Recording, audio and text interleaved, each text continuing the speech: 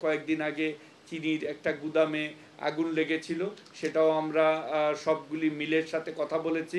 আপনারা নিশ্চিত থাকতে পারেন যে আমাদের চিনির যে পরিমাণ মজুদ বিভিন্ন মিলে এবং আমদানিকারকের কাছে আছে, চিনির কোনো সংকট হওয়ার কোনো সম্ভাবনা নাই। তারা জানেন যে আমরা ডিজিটাল কার্ড দিচ্ছি এবং আপনাদের মাধ্যমে সকলকে এই জিনিসটা অবহিত করতে চাই যে আমাদের এই এক কোটি পরিবারের যাচাই বাছাই করে নতুন করে আমরা আবার কিন্তু সুবিধাভোগীর তালিকাটা আপডেট করছি। অনেকে মারা গেছে, অনেকে ডিসলোকেশন হয়ে গেছে, যে অ্যাডজাস্টমেন্টগুলি আছে, আমরা প্রত্যেকটা সংসদ সদস্যকে নির্দেশ দিয়েছি ডিসি মহোদয়কে নির্দেশ দিয়েছি লোকাল প্রশাসনের মাধ্যমে এই তালিকাটা হাল নগদ করা এবং টিসিবির যে আজকে এই যে খোলা মাঠে দিচ্ছি, আপনারা জানেন যে যারা সুবিধাভোগী, তারা হয়তো পাঁচটা পণ্য পাচ্ছে, কিন্তু সারাটা দিন তাদের নষ্ট হয়ে যাচ্ছে এখানে এসে সিরিয়াল ধরে নিতে।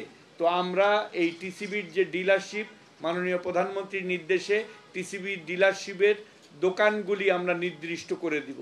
নির্দিষ্ট এলাকায়, নির্দিষ্ট পাড়ায় এই দোকানগুলি থাকবে। সুবিধাজনক সময়ে তার এই টিসিবির কার্ড দিয়ে তারা পণ্যটা সংগ্রহ করতে পারবে আর কি। তো এইটাই আমাদের মূল লক্ষ্য, উদ্দেশ্য।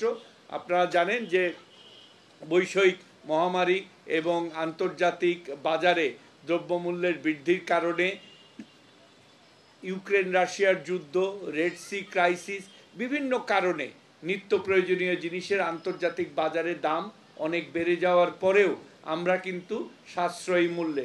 আপনারা জানেন যে আমরা এই তেলটা একশো তেষট্টি টাকা করে আমরা মূল্য নির্ধারণ করেছি। সাধারণের জন্য কিন্তু আমরা কিন্তু দিচ্ছি হলো একশো টাকা করে। এবং চিনির দামও প্রায় একশো চল্লিশ টাকার মতো নির্ধারণ করা আছে। প্রায় অর্ধেক দামে আমরা চিনিটাও দিচ্ছি। তো আমাদের চালের দামও যেমন বাজারে পঞ্চাশ টাকার মতো আছে, সেটা আমরা তিরিশ টাকায় দিচ্ছি।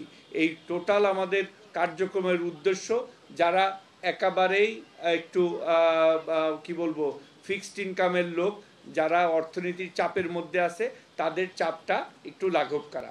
আর একটা জিনিস আপনাদের মাধ্যমে বলতে চাই, এই যে এক কোটি পরিবারকে যখন আমরা এই পাঁচটা নিত্য প্রয়োজনীয় জিনিস দিয়ে দিব, তখন কিন্তু বাজারে চাপটা কমবে।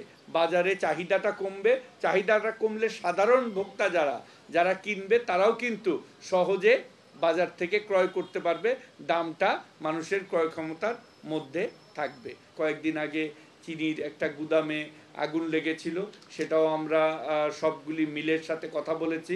আপনারা নিশ্চিত থাকতে পারেন যে আমাদের চিনির যে পরিমাণ মজুদ বিভিন্ন মিলে এবং আমদানিকারকের কাছে আছে, চিনির কোনো সংকট হওয়ার কোনো সম্ভাবনা নাই। আপনাদের মাধ্যমে এটাও আমি আহ্বান জানাব, সকল মিল মালিকগণকে অনেকগুলি পেপারে আমি দেখেছি, দুই এক জায়গায় বাজারে কেউ বাড়ানোর চেষ্টা করছে, কেউ যেন এই ধরনের অসাধু চেষ্টা না করে, মিল গেটের রেট এক টাকাও বাড়বে না রমজানের আগে। এই প্রতিশ্রুতি কিন্তু আমরা বাণিজ্য মন্ত্রণালয়, আমাদের সংশ্লিষ্ট যারা উৎপাদনকারী আছে তাদের সাথে আমাদের কথা হয়েছে। আমরা কখনোই চাই না যে পুলিশি নজরদারি করে বা ইন্সপেকশন করে বাজারের অবস্থাটা সুস্থ বাজারের পরিবেশ রাখতে। আপনারা জানেন যে বাজারকে চলতে যদি নিজের গতিতে চলে এবং প্রতিযোগিতা যদি ঠিকমতো থাকে, তাহলে বাজারে ন্যায্য মূল্যে জিনিস পাওয়া যাবে।